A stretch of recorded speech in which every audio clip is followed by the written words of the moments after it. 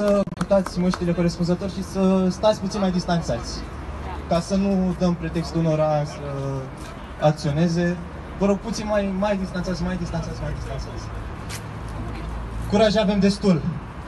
Sunt Iacob Cezar, sunt din Ploiești, Bravo! sunt prahovean al vostru. Bravo! Bravo! Tânăr deștept și curajos! Să rămână! Suntem biruitori! Amin! Am reușit! Amin Buturuga mică răstoarnă ca mare, spune un proverb românesc. Corect!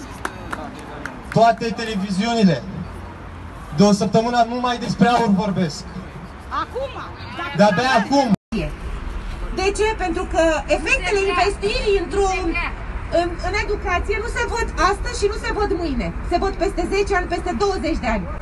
Ei vor să se vadă acum, investesc în campanie, după care nu mai contează ce se întâmplă. Trebuie să investim în educație, trebuie să investim în educația copiilor noștri.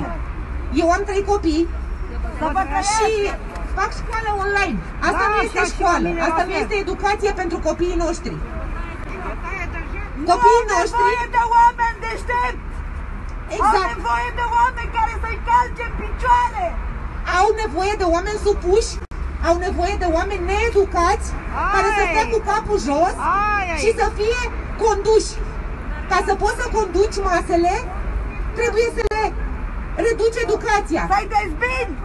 Pentru că trebuie să investim în uh, agricultură, în micul producător. În perioada asta este cel mai important să avem imunitate. Imunitatea ne luăm din alimente sănătoase, alimente care au fost interzise în piețele românești.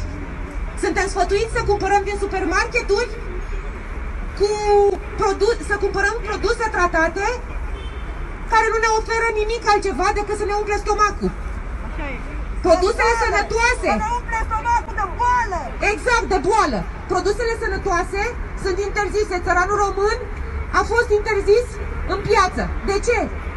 Prin ei, prin bătaia de joc față de ei și a muncilor, noi toți avem de suferit.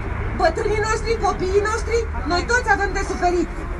Trebuie să ne unim, trebuie să fim o forță și cu toții o să reușim să scoatem România din subjugarea care este ținută de 31 de ani. Să fie